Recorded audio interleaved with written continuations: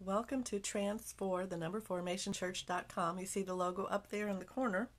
Um, we are on the 10 benefits of walking in the favor of God. It's basically from Jerry Savelle, and he's got 10 benefits of the favor of God, is basically what he calls it. Um, and we are on um, day four, which means that we are now on. We did Monday, we did one and two. Tuesday, we did um, three and four. Yesterday, we did five and six. So we're doing seven and eight of 10 benefits of the favor of God. I'm Pastor Becky. This is Transformation Church, healing spiritually, physically, mentally, and financially. And we're in Central Florida. If you're ever in Central Florida, come see my my um, sweet co-pastor husband, um, Pastor Eddie, and myself, and um, walking in the favor of God. So um, I didn't realize it was going to be so difficult to read. Um, the lighting in here is not as good today. It was too bright last time, so I'm going to see if I can even read it. Number, well, I I'm, I can in Jesus' name. So number seven, favor produces prominence and preferential treatment. Esther two seventeen, favor and preferential treatment. All right, how? Oh, there we go with some more light. And it says in um, Esther two seventeen, and the king loved Esther more than all the other women, and she found grace and favor in his sight more than all the other virgins. So he placed the royal crown upon her head and made her queen um, in place of Vashti. So it will bring you to a place of prominence. And again, I didn't realize when I sat here the lighting was going to be so poor. Um, but favor produces prominence and preferred treatment. So when you walk in the favor of God, you can um, look for preferred treatment and, fa- uh, favor and, and get preferential treatment, you will st- basically you'll stick out like no one else. Hey, Pastor David, good to see you from Uganda. Um, anyway, um, I'm going to keep moving because we have prayer here tonight. We've been having prayer Tuesdays, Thursdays, and Saturday on top of our Sunday schedule. So um, um I, I'm going to go through this fairly quickly. But I want you to choose to walk in the favor of God. I was going to read all of them back up, but you'll just have to go back and watch the rest of them because, like I said, the lighting's less than um, on, uh, on reading my page. Now, if I did it like that, I could see it. Um, anyway, that is really weird. Okay, number um, eight favor produces petitions granted even by ungodly civil authorities. If you're dealing with a, um, a legal case, um, the civil authorities aren't being fair to you, favor will bring you there. And I'm going to go ahead and it's Esther 5 8. And it said, Esther replied, This is my petition and my request. If I have found favor, verse 8, if I have found favor in the sight of the king, and if it pleases the king to grant my petition and fulfill my request, may the king and Haman come tomorrow to the banquet. I will prepare for them. Then I will answer the king's question. And for anyone that know the book of Esther, um, the, the king said yes, and, and Haman was like, um, ah, it's great to have you here live.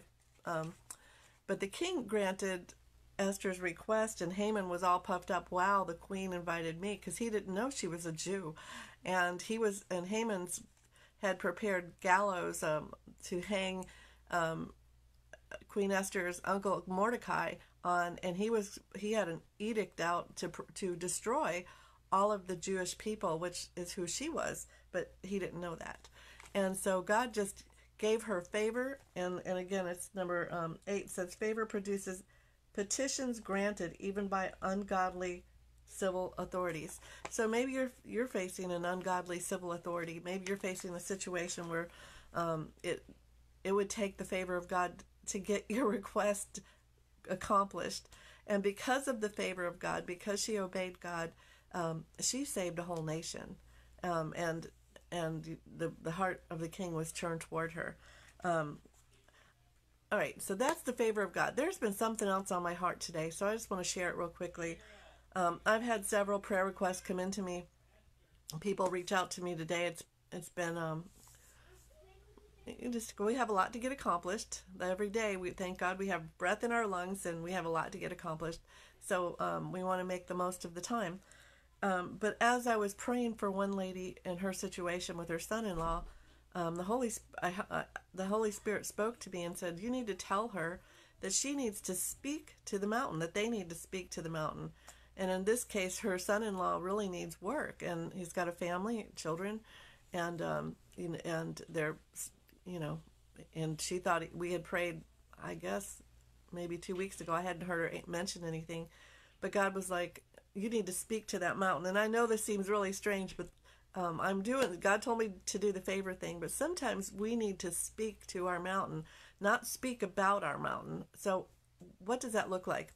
All right, you need work, you need an income, and you've got certain skill set, and you've applied for employment in this particular gentleman's um, what he's going through, and you prayed, and you know it said bring, you know, pray, ask, seek, ask, knock, and um, it will be given. So we we pray, all right. Well, but after you pray, then you speak to the mountain, and you say, mountain of lack. In the name of Jesus, I command you to leave in Jesus' name. Get out of my way and you speak to lack and, and say, I walk in abundance. I walk in, uh, my God will supply all my needs according to his riches and glory by Christ Jesus. Um, yes, favor will protect us from the snares of the evil one, and that's true. And favor, in the case of needing a, a job with this young man that, I don't know how old he is, her son in law, um, favor can get you a, a job, um, employment over somebody who maybe has more um, skill sets than you have that might be more qualified, but for some reason, the employer is going to look at you and go, "Oh, you know what? I I just my gut tells me I need to hire you," and um and if so, that works whether it's health. Maybe you're you're dealing with a health pro um, health problem, sickness, disease. Um, you pray and ask, you know, pray and do whatever you have people pray, but at, at the more it's more effective to speak to your mountain instead of speaking about your mountain. I hope people are following me.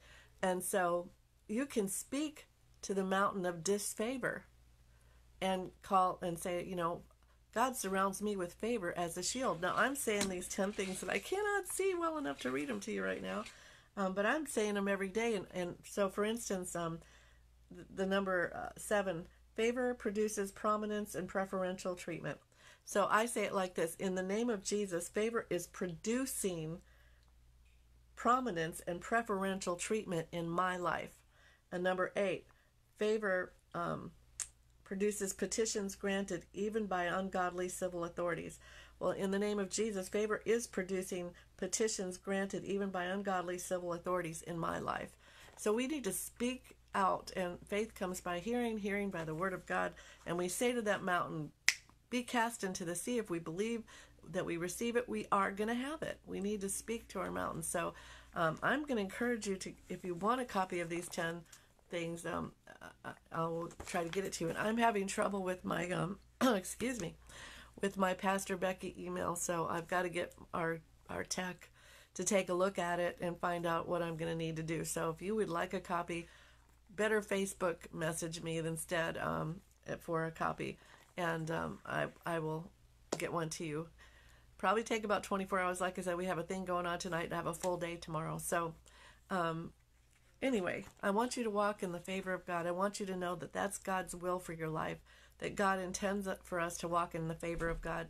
And you're never going to obtain any of what God has for us when we don't know. It is so important for us to meditate on the Word of God. So when you're speaking something for 30 days over and over, going over scriptures like the favor of God over your life, you're that's a type of meditation you're hearing it over and over and over i will send those notes to you pastor david for sure um, so we just i want and and say these things every and i i want to hear your report too because i believe you're going to have some testimonies based on this i know i've already seen some things so um, God's not, a, he said he's no respecter of persons. So if he does it for me, he'll do it for you. If he did it for someone else, so, you know, Jerry Savelle is the one that came up with this particular list of 10. And um, I guess he just got a doctorate now, but he's a, he's a, an evangelist, I guess. But anyway, they're really great. I will send you a copy. Um, I'm going to go ahead and ask, because I don't know when anyone's watching this, whether you're watching it now or later, it's still God's word for you today. And um, if you're not 100% sure if you were to die today that you would go to heaven, um, just know that God loves you. He has a great plan for your life. He has favor for you. He, he every he has abundance of blessings for you. Um, like we were going over the um, Psalms 115, where it talks about um, God is blessing me. Blessings upon blessings are being heaped upon me and my children um, from the maker of heaven and earth, even the God that made me. So I would say, I keep, in fact, I, I've got it on my refrigerator and I say it still. I'm saying it every day. Why? Because I'm speaking, when you're doing that, that's a type of speaking to the mountain and saying, um, I'm blessed. Blessing, blessed are being heaped on me and heaped on me. Because the enemy is going to say, you know, look at them. They're, why, they're more blessed than you are. And, you know, they don't really, you know, they don't serve the Lord. And, you know, what are you, a chump or whatever? No, um, we just need to find out what our, is ours, meditate on the Word of God, speak the Word of God. It's really important to speak it out there in Jesus' name. So, if you're not 100% sure if you were to die today, you'd go to heaven, repeat this prayer with me. Say, Heavenly Father, I believe in the name of the Lord Jesus Christ. I believe Jesus died on the cross for me. I believe that Jesus rose from the dead on the third day. I admit I'm a sinner. I ask you to forgive me. Take my life and do something wonderful with it. I know I'll never be the same again. Fill me with your sweet Holy Spirit. In Jesus' name, amen. Yay! So if you prayed that prayer when you die, you're going to heaven. Share this with other people, heart, like, whatever. Just and keep on sending it forward. Um, if you need any like need anything like information about okay what do i do now i prayed that prayer with you contact me again message me through facebook or um, hopefully by the time you know my email will be fixed. That is really weird. That's in the name of jesus my email will be fixed. And um, the only reason i know is some some people that come to our church had sent me some things and it, and they said did you get it? And i'm like no. And i looked. I just went through five I, I don't know three hours yesterday trying to work it work it all out. I was gonna say five, but it was about three hours. Um, so I'm gonna get a tech person to help me figure out what in the world's going on because I didn't get it. But anyway, um, I will, Pastor David. I'll send you these notes, and I pray blessing and favor upon you and upon your ministry, upon your family, upon everything that you put your hand to. That you're prospering when you walk out the door. You're prospering when you walk in the door that um, God's blessings are chasing you, Blessings upon blessings are being heaped upon you and your children um, from the maker of heaven and earth, the very God that made you and me. Thank you, Jesus. And we say thank you for blessing me. Father, in the name of Jesus, I also speak healing and wholeness from the crown of everyone's head to the soles of their feet, tips of their toes to their fingertips. In Jesus' precious name, amen. All right, I will talk to you tomorrow. So I apologize for it being as short as it was because um we have people coming for prayer and, and we're seeing answers to prayer. It's been wonderful. And we're here in America, we're praying for a lot of our, our um, elections that are coming up and um, some situations politically. So we're doing a lot of that. Um, and we're seeing great, great, um, joyful answers in Jesus' name. All right. Love you. We'll talk to you again. Bye bye.